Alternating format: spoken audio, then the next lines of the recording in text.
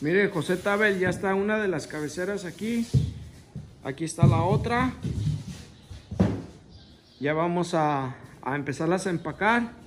Y estoy haciendo la mesa y las otras dos cabeceras.